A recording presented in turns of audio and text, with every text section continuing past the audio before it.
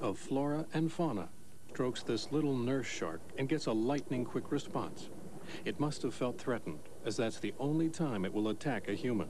Luckily, it only gets hold of the belt of the diver's oxygen tank. Once back aboard the boat, she manages to get disentangled. Wholesale killing has been curtailed as a recreational activity. Though sharks will always be hunted, the harpoon and the camera are replacing the rifle.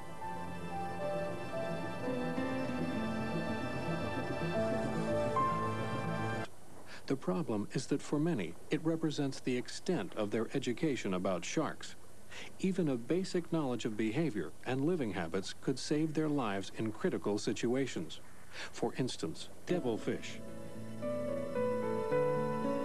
The horns are also perfectly placed to make a diver's dream come true, and one of our team manages to grab hold for an extraordinary ride.